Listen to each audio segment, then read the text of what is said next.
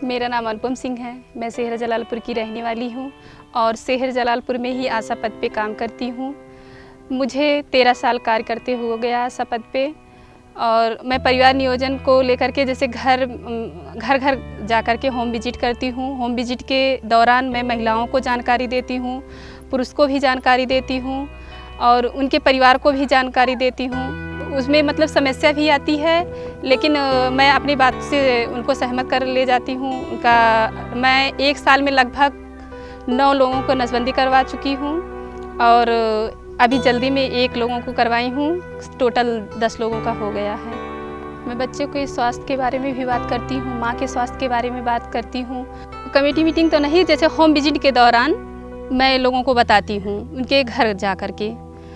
उनके मतलब महिला को बताती हूँ, महिला के हस्बैंड को भी बताती हूँ, उनके सास को भी बता देती हूँ क्योंकि जैसे आपको, हमको अंतरा इंजेक्शन लगवाना है तो वो बिना अपने सास के या हस्बैंड के परमिशन के नहीं निकल पाती हैं। तो मुझे उनको भी मोटिवेट करना पड़ता है, बताना पड़ता है। जैसे कंडोम हुआ ईजीसी पिल है और ये छाया टेबलेट है, आया है, अंतरा है नसबंदी के बारे में, पुरुष नसबंदी के बारे में, ये सब चर्चा करती हूँ।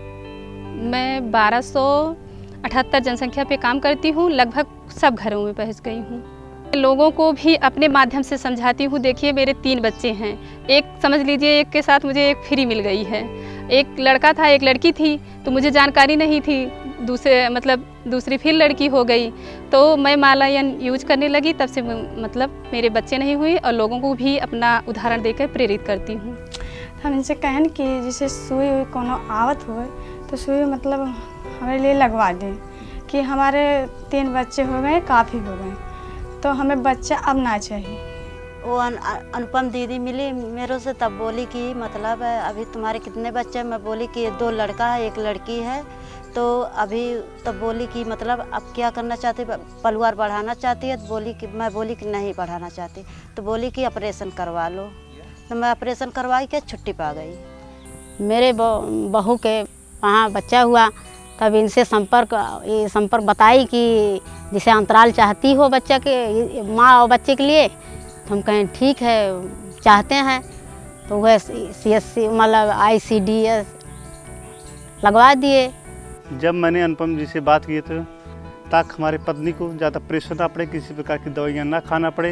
उन्होंने कंडोम के बारे में विशेष प्रकार की हमें जानकारी दी, जिससे हम बच्चों में अंतराल रख सकें। हमारे गाँव में आशा बहू के रूप में अनुपम सिंह वाइफ वाइफ संजय सिंह बहुत अच्छा काम कर रही हैं। पिछले कई वर्षों से इनका योगदान इस गाँव के लिए सराहनीय रहा है।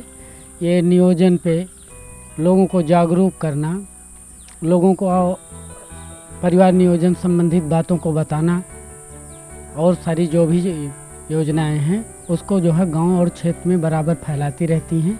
मौके पर गाँव के लोग काफ़ी इनसे लाभान्वित हैं।